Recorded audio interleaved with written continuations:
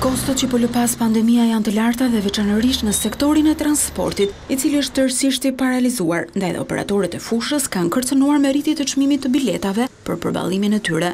Por qeveria dhe bashkia duket se nuk do të lejojnë një gjë të tillë të ndodhë për qytetarët. ndërsa shtrohet nevoja e një pakete ndihme për këtë sektor. Natyrisht që kjo është një kompetencë pjesore e këshillave bashkiakë dhe për këtë arsye kanë një garanci më shumë gjithë qytetarët që nuk do të ketë rritje çmimi, por nga sa i përket besoj Ministrisë së Linjës, Ministrisë së Infrastrukturës dhe Energjisë, çmimet vendosen me akte normative, me akte përkatëse dhe nuk mund të lëvizen dot nga operatorët. Por kjo nuk do të thotë se ne Duhet të jemi për këtë arsye të pandjeshëm për kostot që do të dalin nga reduktimi dhe kufizimi dhe nga kushtet e masat anti-Covid që do t'u ngarkohen operatorëve si përgjegjësi e tyre. Drejtoria e Shërbimit të Transportit Rrugor fali taksën vjetore për shtatë mijë e katërqind automjete të transportit publik, si një masë e parë që i vjen në ndihmë sektorit. Ata që e kanë paguar për këtë vit do t'u zbritet nga vlera për vitin pasardhës. Atyre do t'u zbritet automatikisht në sistem, do të njoftohen që të gjithë.